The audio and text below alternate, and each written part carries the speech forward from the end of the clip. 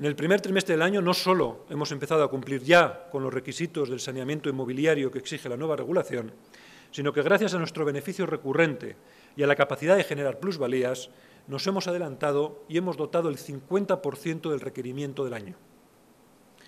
Estamos aprovechando las altísimas oportunidades de crecimiento orgánico que ofrece un mercado en proceso de profundo cambio.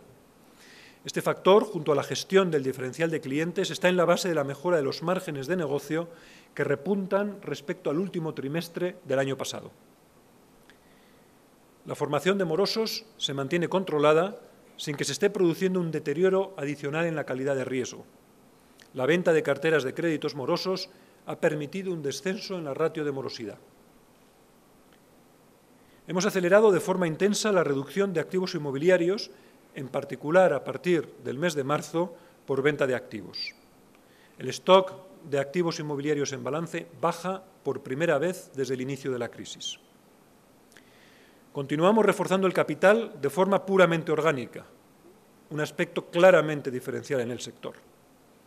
Nuestro core capital se sitúa ya en el 9,2%, cómodamente por encima del mínimo regulatorio exigido.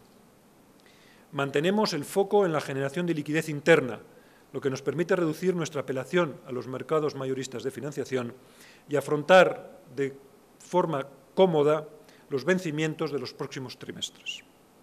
Además, hemos logrado realizar emisiones de título a largo plazo en el primer trimestre a pesar de las dificultades y de la volatilidad en el mercado. Y todo esto manteniendo nuestro foco en el cliente y en la calidad de servicio, lo que nos está permitiendo salir reforzados de la situación actual de cambio en el mapa financiero.